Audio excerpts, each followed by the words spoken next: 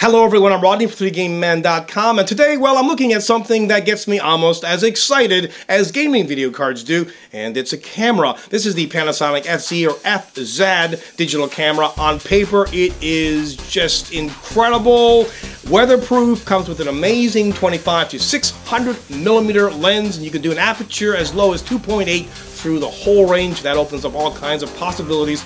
Plus, you can shoot 4K video with it. As a matter of fact, according to the reviews, it is just stellar. And a lot of, you know, semi-pro photographers will use this as their B camera. Well, let's see. First, the box, which has plenty of pictures as well as features and specifications about the product on it. Included inside is a CD that has applications and the owner's manual on it. You have a quick start guide, a basic owner's manual, as well as warranty information and information on how you can register it. On the right here, you have a battery, a charger, lens hood, lens cap, a strap, you have a USB cable, and uh, the camera. So let's have a look around this camera. At the front, you've got the Leica 25 to 600 millimeter lens. Remember, this has an f-stop of 2.8 throughout the entire range. On this side, there's a switch so you can quickly zoom in and zoom out. Manual focus is also possible with this little dial. Below it is a button so you can change between focusing and macro. Here's the speaker a 3.5 millimeter mic jack, a loop here for attaching the strap, and of course there's another one on the other side, a flash release lever, and an EVF diopter corrector. On this side is the grip, and I have to say it's excellent. When you purchase a camera, if the grip is not right, it really throws everything else off. And oh, I forgot to mention this. At the front left is the self-timer indicator AF assist lamp. In this compartment, there's a 2.5 millimeter jack for a wired remote, a mini HDMI port, as well as an AV out digital socket. At the top is the flash, hot shoe, stereo microphone, a mode dial, which by the way is pretty darn hard to turn. That's good. As well as another dial here, which you can use to increase or decrease, like for example, ISO or aperture, the on off switch. Now there are four function buttons on this camera. Two are at the top and you can assign those to pretty much anything that you want. A record button for video, the shutter button. This is a Wi-Fi status LED and you can use this to zoom in and zoom out. At the back is an excellent eye cup. Here's the viewfinder and the eye sensor. Included as well is an AF-AE lock button and a switch so you can quickly and easily change between autofocus and manual focus plus a play button, display button, cursor button, which has, you know, things like the menu, white balance, and ISO on it. Here's the third function button. Remember, you have two at the top, and here's the fourth. And of course, let's not forget this wonderful touchscreen display. On the bottom, you'll find the tripod mount, but note where it's located. Normally, you'll find it in line with the center of the lens. This will pose problems with the tripod mount because it will cover the battery and SD compartment. Now, if you're not using a tripod much, this is not a big concern, but if you are, you will need to take the tripod mount off every single time. You either want to swap the battery or swap the SD card. Of course, you could get a plate, but that's extra cost. To access the battery and the SD card, flip this lever forwards and the door will swing right down. Also over here is a place to install the optional power adapter. Now I really quickly want to touch on most of the options within this camera and there's a lot. So, you know, I don't want to make this too long, so let's get started here. First of all, within camera, you've got photo style. You've got a number of different options here. Filter settings, again, all kinds. Aspect ratio can be changed, picture size, picture quality, metering mode, burst rate,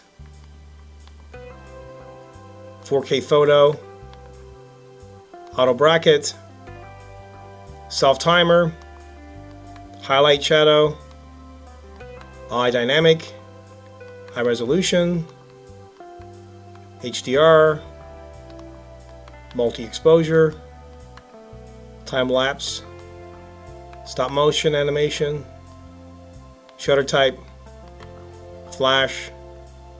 Remember you can pause this if you want to, you know, see more information about it. I know I'm flying through this quickly because I don't want it to be too long and boring. Red eye removal, ISO, limit sets, ISO increments, diffraction compensation, iZoom, digital zoom, conversion,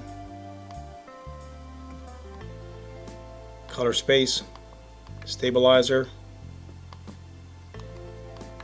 face recognition, and portrait setup. Okay, so let's go to the video side of things and let me go back to the top here.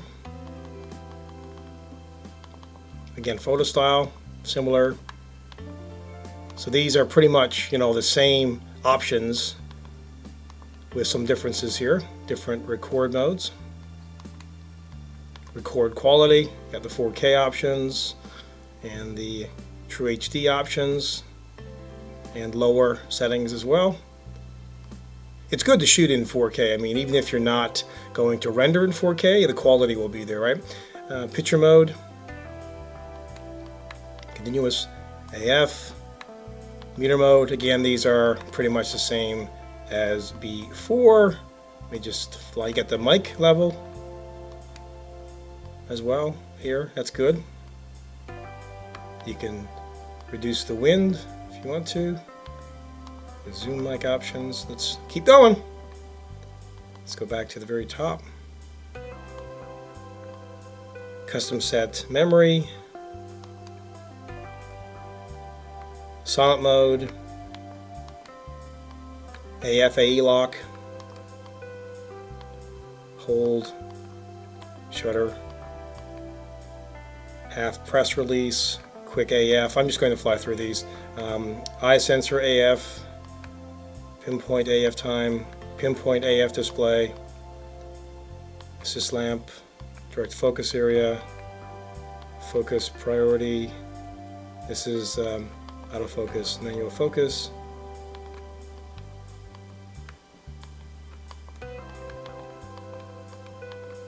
Just peaking, histogram, guidelines, center marker, highlight, zebra pattern, and I mean it just goes on, right? Look at this. So tons and tons and tons of options. I just wanted to go through these because some of the videos that are done on this already, they don't actually detail and go through these individually. I'm not covering these in details, obviously, because we'll just take forever, but at least you'll know that they are there. Like I said, if you need to stop and pause on something, go ahead and do so. And I could be using the touchscreen right now, but I'm not, because my fingers will be in the way. Okay, so let's go down here to settings. You can set, go back to the top, you can set the, you know, clock, world time, you got the travel date, Wi-Fi setup, which I'm going to go back to, but you got Wi-Fi options with this. You can control the phone, you can control, sorry, the camera with the phone, which is awesome. You can enable beeping sounds, uh, live view mode, uh, set that up, you know, 30 frames per second, 60 frames per second. Monitor display.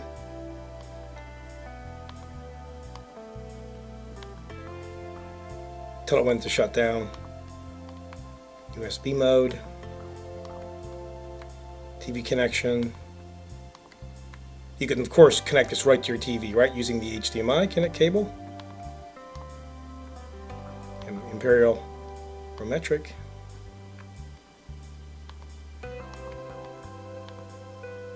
background color you can change, menu information you have on or off, language,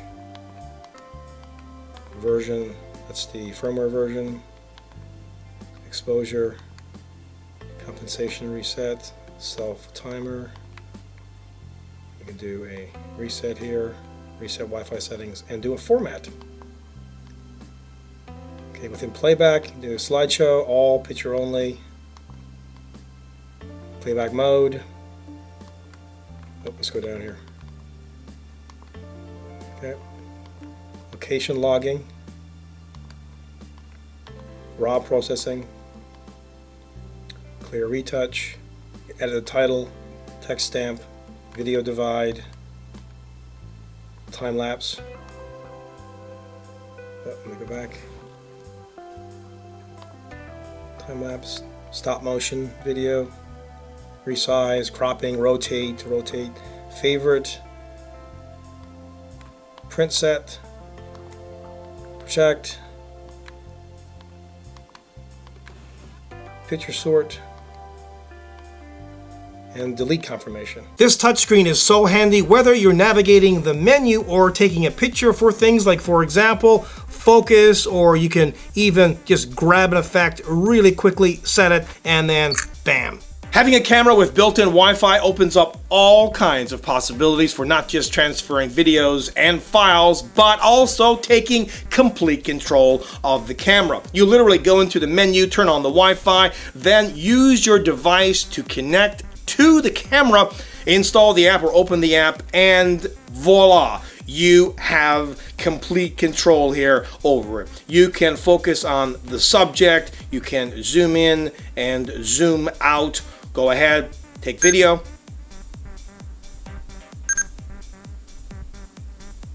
Stills, change things like the white balance and ISO, and all kinds of other options. Now this is a little bit of an audio, video, and steady test for the camera. I'm actually holding it while I'm filming at 4K and you can get some idea of the video quality as well as the audio quality and overall steady wise it's not too bad. Okay so in this test I'm still using the camera's microphones I'm holding the camera but everything else is manual. I set the ISO to 400, the shutter is at 60, and the aperture is at 3.5. Now this will give you some idea of the 25 to 600 millimeter lens. This is zoomed all the way in,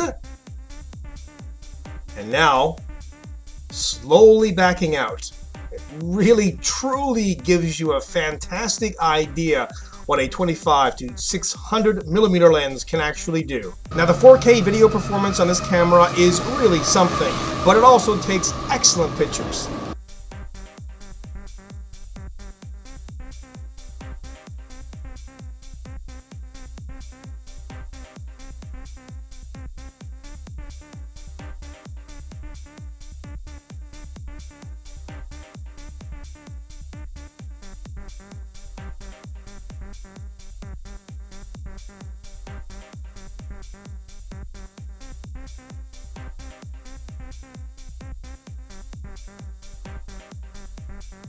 So is this camera for you and is it worth the money? Well, currently it's around $800 and to be frank, at that price, eh. However, if you can get it on special, yes. This is one of the very best all-around point and shoot cameras that's on the market because it has so many features and does everything extremely well.